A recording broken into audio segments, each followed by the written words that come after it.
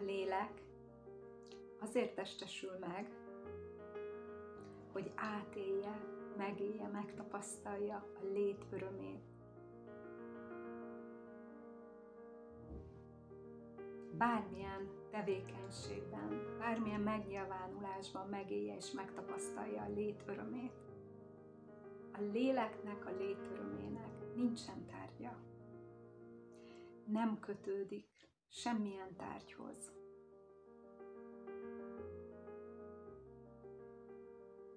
A léleknek az öröme az tiszta, egyszerű. Önmaga lényegiségéből fakad, önmaga tökéletességéből és teljességből fakad ez az öröm, amit átél, amit megtapasztal.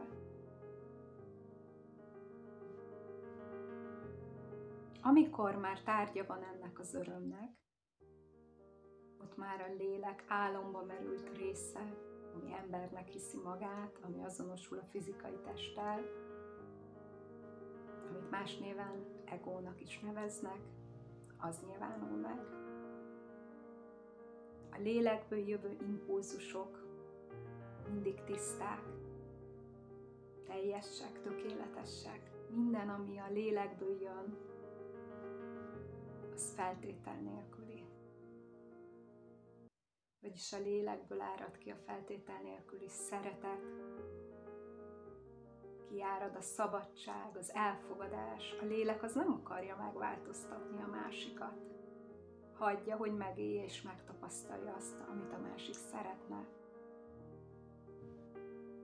A lélek soha nem ítélkezik. Lélek soha nem büntet. A lélek soha nem tart senkit hibásnak.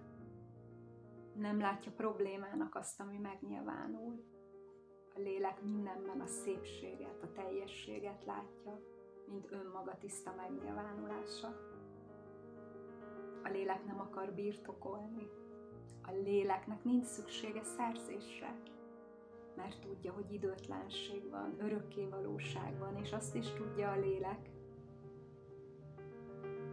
hogy az élet gondoskodik magáról minden pillanatban, ezért nincs szükség erőfeszítésre, küzdelemre, túlélésre a lélek tudja,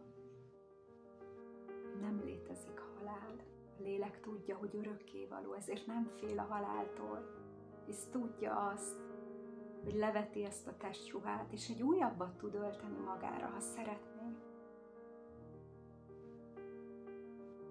Amikor a lélek megélés megtapasztalja azt, amit szeretne,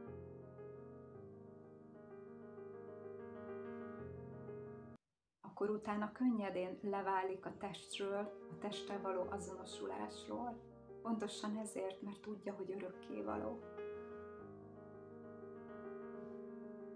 És mindezt, amit most elmondtam nektek, az innen jövő impulzusokat az ego, mint egy fordító, teljesen máshogy fordítja le. Teljesen máshogy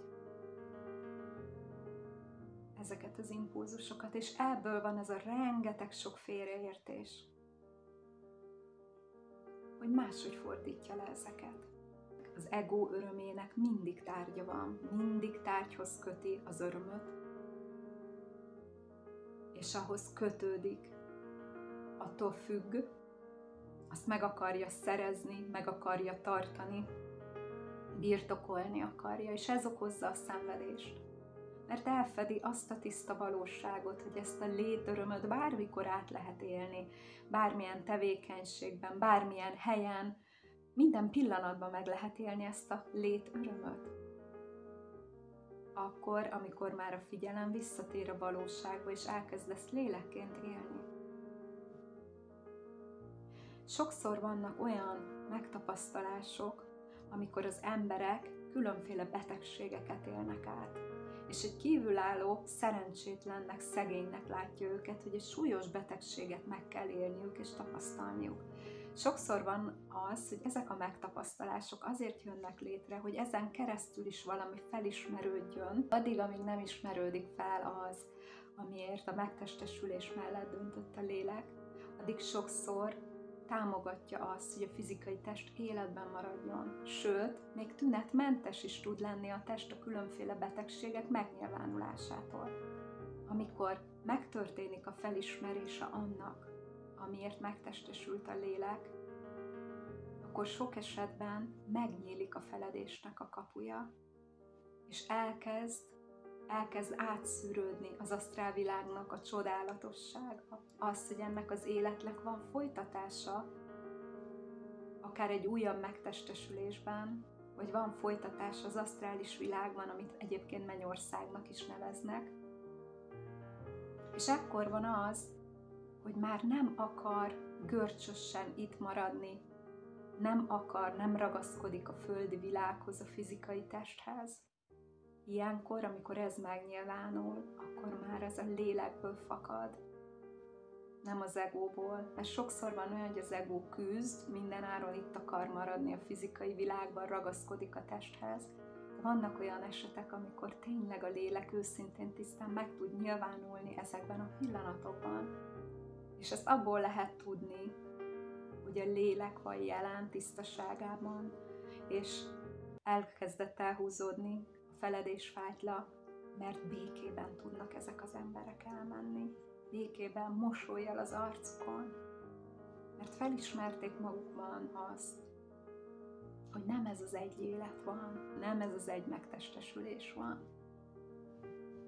És a lélek elkezdi érezni a valósághoz egy közelebbi tudatállapotot, melyben érzékeli, észleli, hogy az élet tovább folytatódik az asztrális világban. És ez megnyugtatja, ekkor van az a jelenség, amikor a hozzátartozókat látják, és nyugodtan békével mennek el, vagyis a tudat nyugodtan békével hagyja el a fizikai testet, hiszen látja, érzékeli, észleli, hogy az életnek örök folytonossága van. Amikor egyre mélyebben összeolvadsz igaz önvalóddal, önmagaddal, a valóságra való visszaemlékezés útján haladva, egyre inkább elkezdesz lélekből élni, létezni. Megjelennek még a régi ösztönprogramok, a régi ösztönvilágnak a maradványai, felfelbukkannak még, de a pillanatban azonnal észre lehet venni, és a tudat azonnal átkapcsol a lélekből való látásba, és onnan mindig látszik, hogy minden a legnagyobb tökéletesség, rendezettségben van, és semmibe sincs semmilyen hiba. És tisztán látszik, hogy a lélek az mindenkit szeret. Mert feltétel nélküli szeretettel teljes, tökéletes. Míg az ego az nem tud mindenkit szeretni. Törekszik a szeretetre, próbál szeretni, de nem tud mindenkit szeretni. Amikor a lélekből való látás jelen van, akkor bárki bármilyen az ego megnyilvánulásának a szintjén, a feledés szintjén, a lekorlátozódás szintjén, a lélek akkor is szeret. Mert a lélek a léleket látja a lélek nem a szemét, az egót látja. Nem a szemét, ami valójában egy személytelen működés. Nem azt látja, hanem a léleket látja, önmagát látja, és ahhoz kapcsolódik. Annak a szépségében gyönyörködik. Annak a csodálatos ragyogását és fényét látja. És ez boldogság.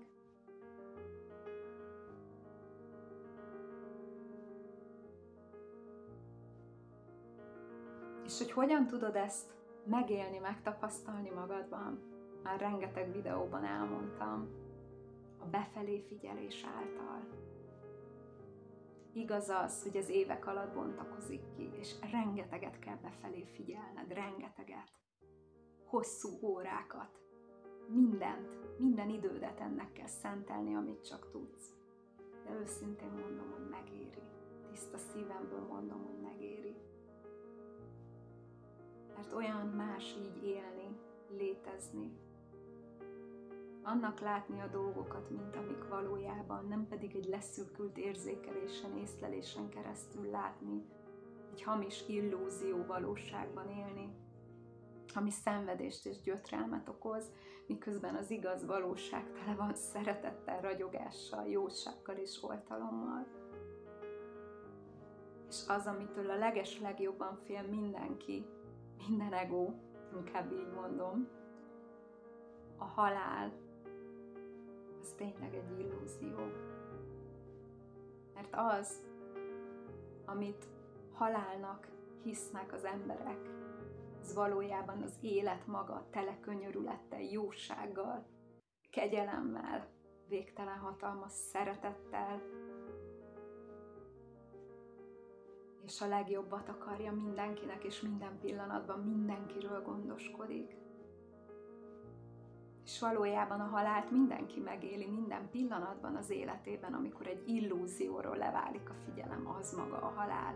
És ezt nagyon sokszor átélik az emberek, amikor csalódnak. A csalódás mindig egy ilyen kis halál. Tehát valójában a halál az mindig jelen van, amit, ami valójában maga az élet. És azért mondom azt, hogy valójában maga az élet, mert mert ez az élet egy olyan gyönyörű csoda, amiben annyi minden megszületik, majd tova tűnik. És így a formák is megszületnek, átalakulnak, és eltűnnek. De az élet az örök és állandó, és ebben az örök és állandó időtlen életben jelenik meg minden. És olyan könyörülettel, olyan szeretettel, olyan jósággal, olyan oltalommal, olyan kegyelemmel van ez az élet, mindenfelé, ami létezik, mindenben, amiben megnyilvánul, hogy tiszta szívemből kívánom, hogy egy nap ezt ti is meglássátok. És átformálódhasson a valóságotok az igaz valóságá, ami tele van hatalmas, rengeteg sok szeretettel, jósággal, oltalommal, És valójában ez a tökéletes szeretet, ezt a részt, ami álomba merült embernek hiszi magát, egy ösztönlényként él, nagyon-nagyon szereti, végtelenül szereti, elfogadja, karjaiba zárja, öleli. És ez a rész ekkor tud kioldódni, kiengedni a feszültségből, a tagadásból, az elkülönültségből, amikor ez a tökéletes Krisztusi szeretet átöleli ami az örök ős szívből nyilvánul meg, az élet forrásából jelenik meg, amikor ez innen kiárad és átöleli ezt a részt, ezt az egót, akkor megtisztul a feszültségtől, végre kimeri engedni magát a sok rettegésből, erőfeszítésből, túlélésből, ami az elkülönülésből fakadt. Olyan ez, amikor az anya átöleli a gyermekét, és a gyermek megnyugszik a karjában. Csak ez kozmikusan zajlik le. Ez a végtelen, határtalan, tiszta tudat, ez a kozmikus anya-apa egyben átöleli a gyermekét, ami elkülönülve volt, és végre a gyermek ebben megadja magát. És beleolvad a szeretetbe és összeolvad a nagy egésszel, és visszatalál az örök szeretetbe, az örök békébe.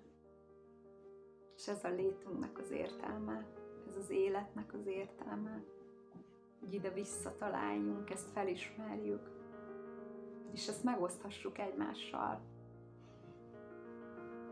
Ez a legnagyobb létöröm ezt megosztani. És nem csak a felismerésekre gondolok, hanem a jelenlétre, mert azok, akik ide találnak, akiket a lét idehoz hozzám, ők már ezt élik és tapasztalják, és egyre mélyebben haladnak ezen a gyönyörű visszaemlékezés útján, és én boldog vagyok, hogy ezt megoszthatom, ezt a jelenlétet. És boldog vagyok, hogy ezt felismerhettem, és nagyon hálás vagyok ezért a létezés kegyelmének, jóságának, amiben kislánykoromtól hittem végtelenül a meséken keresztül, most élő valóságként élhetem erre visszaemlékezhetek, és boldog vagyok, hogy nektek is ebben segíthetek.